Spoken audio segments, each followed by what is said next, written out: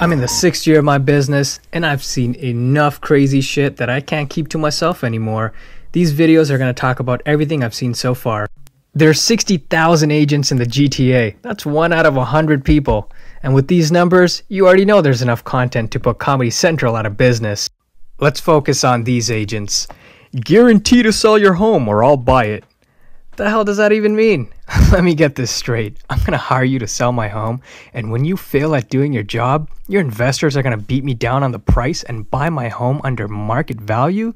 You're hired to sell my home, not make guarantees of what happens when you don't. And if you want my house, just bring me an offer I can't refuse. And remember, there's only one agent worth calling.